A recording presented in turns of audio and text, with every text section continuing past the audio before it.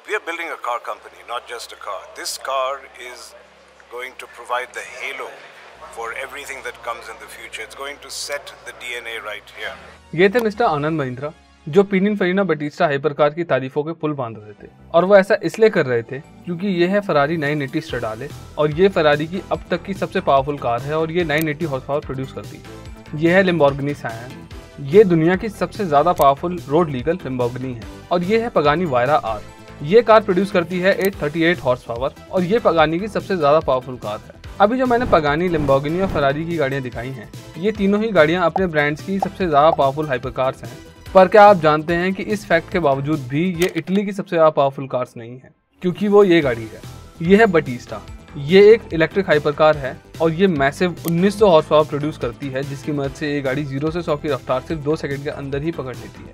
और ये car pinion फैना ने बनाई है। वो इटालियन कंपनी जिसे महिंद्रा ने 2015 में ही एक्वायर कर लिया था। पिनियन फैना दुनिया की सबसे मशहूर ऑटो डिज़ाइन फर्म है, जिसने लांसिया मजराती और अल्फ़ा रोमियो जैसी ना जाने कितनी सारी स्पोर्ट्स कार और लग्जरी कार कंपनीज़ के लिए डिज़ाइन बनाए हैं। और फरारी के लिए तो 200 से भी ज़्यादा कार्स पिनियन फैना द्वारा डिज़ाइन करी गई।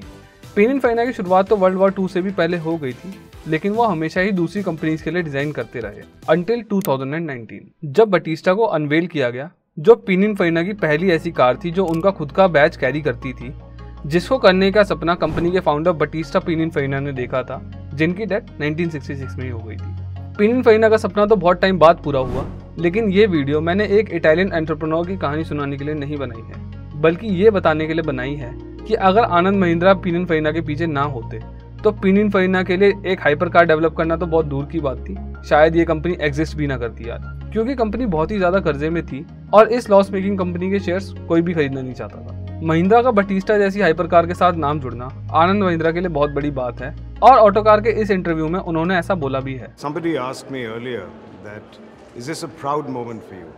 And I said um, that I'm in a state of disbelief.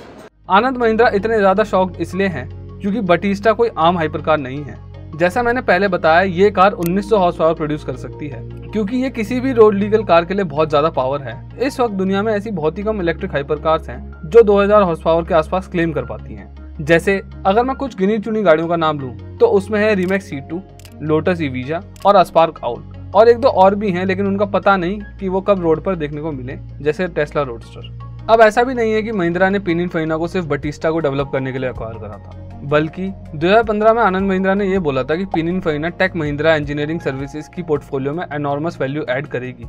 साथ ही साथ पिनिन फैना की मदद से उनका इंटेंशन महिंद्रा ग्रुप की ओवरऑल डिज़ाइनिंग को एनहांस करना भी था। तो फिर ये इलेक्ट्रिक हाइपर कार कहाँ से आई? अब ये पूरी कहानी समझने के लिए हमें पहले पिनिन फैना की बहुत ही खूबसूरत हिस्ट्री में डाइव इन करना पड़ेगा।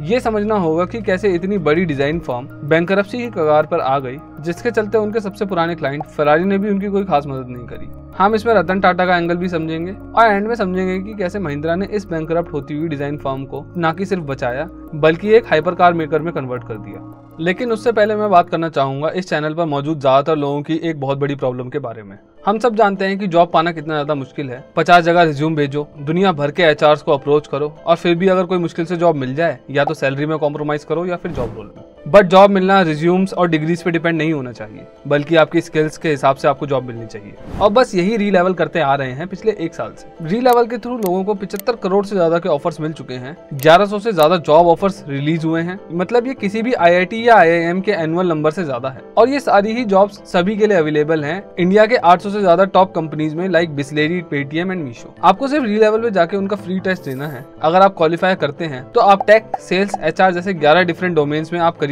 किक स्टार्ट कर सकते हो।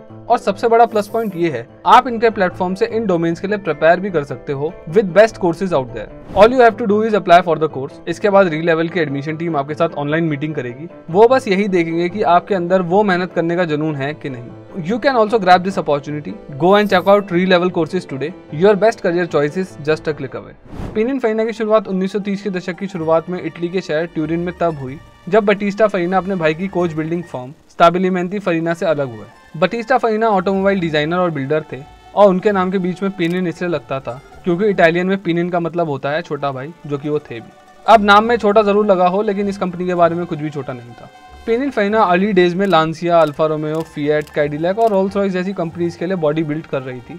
पेनिन फैना ने 1930s में ऐसी ही कई और भी कंपनी के साथ काम करा, लेकिन उन्होंने जो गाड़ियाँ वर्ल्ड वॉर टू के बाद डिज़ाइन करी थी, उनकी बात ही अलग थी। जिसमें सबसे पहले है Alfa Romeo sixty twenty five hundred S और लांसिया अप्रालिया कैब्रियोले दो ऐसी गाड़ियाँ जो बटिस्टा फरीना और उनके बेटे सर्जियो पेरिस मोटर शो में लेकर पहुँच गए थे, जहाँ वर्ल्ड वॉर टू के बाद से इटली की एंट्री बैन थी, लेकिन उन्होंने वहाँ पर भी वाहवाही लूटी।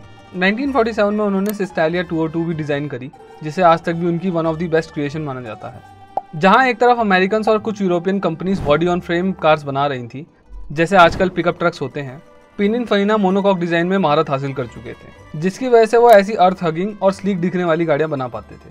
और यही वो रीजन था जिसकी वजह से एंजो फरारी अपनी गाड़ियों के डिज़ाइन पिनिन फरीना से करवाना चाहते थे। एंजो फरारी और बटिस्टा फरीना और उनके बेटे सर्जियो तोरतोना के एक कैफ़े में मिले। 1951 की इस मीटिंग को माना जाता है कि ये इन दोनों कंपनीज़ के लिए एक टर्निंग पॉइंट की तरह थी और ऑटोमोबाइल इंडस्ट्री के लिए भी। इसके बाद से पिनिन फरीना ने फरारी के लिए वो हर कार डिज़ाइन करी है, जिसके बारे में आप सोच सकते हो। 1973 की GT4 और 2013 की ला फरारी को छोड़ के पिनिन फरीना ने 200 फरारी मॉडल्स को डिज़ाइन किया है और प्रोड्यूस भी किया है।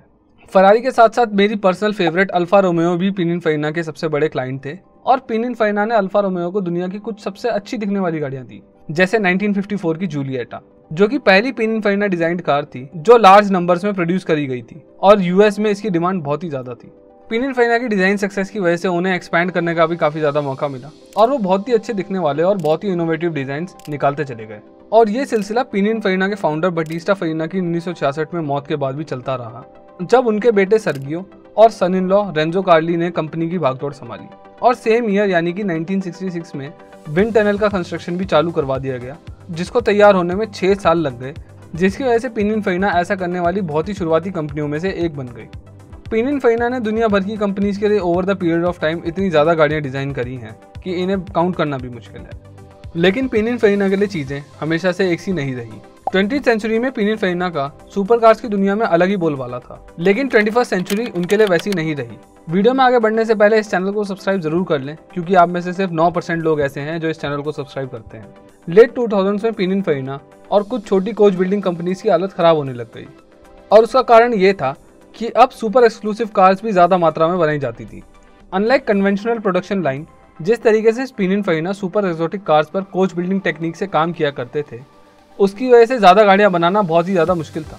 और फिर ट्वेंटी फ़र्स्ट सेंचुरी में कैड प्रोग्राम्स ने छोटी से छोटी कंपनी के लिए हाईली एरोडायनामिक और अच्छी दिखने वाली गाड़ियाँ डिज़ाइन करना बहुत ही ज़्यादा आसान कर दिया।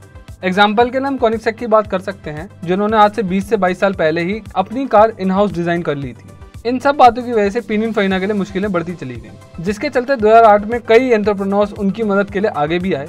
जैसे मशहूर ब्रेक बनाने वाली कंपनी ब्रेम्बो के चेयरमैन थे, जिनका नाम एल्बर्टो है पियरो फेरारी मरीसाज फैमिली जो कि सीट बेल्ट कंपनी के मालिक हैं, और इसमें रतन टाटा भी शामिल थे। इन सभी ने मिलकर वन मिलियन यूरोस इन्वेस्ट किए बट ये कंपनी के लिए काफ़ी नहीं था। आने वाले सालों में कई बैंक्स का पिनिन फहीना पर बहुत ही ज़्यादा कर्जा चढ़ता चला गया, और पिनिन फहीना के हालात बैंक जैसे हो गए। ये सिलसिला 2015 तक ऐसे ही चलता रहा, जब तक महिंद्रा ग्रुप ने पिनिन फहीना को एक्वायर नहीं कर लिया। महिंद्रा ग्रुप ने पिनिन फहीना के 76 परसेंट शेयर एक्वायर करे, जिसके लिए उन्होंने 168 मिलियन यूरोस खर्च किए।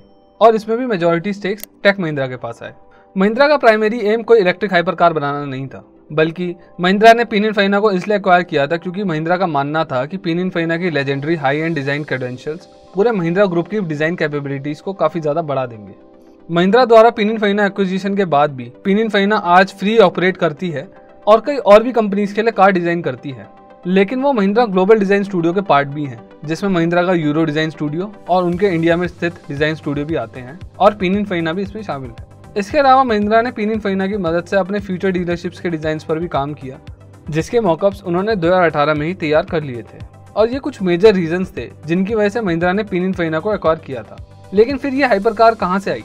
मिस्टर आनंद महिंद्रा ने एक इंटरव्यू में बताया था कि जब वो पाओलो पिनिन फैना जो कि पिनिन फैना के फाउंडर के पोते हैं, और पिनिन फैना के बैंक्स को ये समझाने की कोशिश कर रहे थे कि महिंद्रा ही पिनिन फैना के लिए बेस्ट बिडर है तो उन्होंने पाओलो को बोला था कि वो उनके ग्रैंडफादर का पुराना सपना पूरा करना चाहते हैं। और वो सपना था पिनिन फैना की खुद की कार बनाने का। और आनंद महिंद्रा का मानना है कि यही एक बात है जिसकी वजह से पाओलो महिंद्रा के साथ जुड़ने के लिए राज़ी हो गए थे। और इसीलिए कार का नाम भी कंपनी के फाउंडर के नाम पर ही रखा गया था, यानी कि बटिस्टा बटिस्टा को ऑटोमोबाइल पिनिन फैना कंपनी के अंडर डेवलप किया गया, जो पिनिन फैना की सब्सिडरी ब्रांड है और ये प्रोजेक्ट टेक महिंद्रा के अंडर एग्जीक्यूट हुआ।